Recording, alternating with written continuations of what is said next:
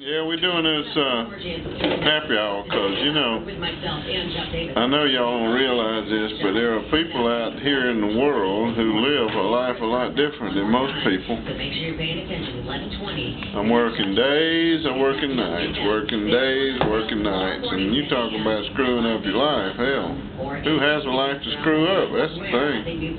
Ain't that right, John?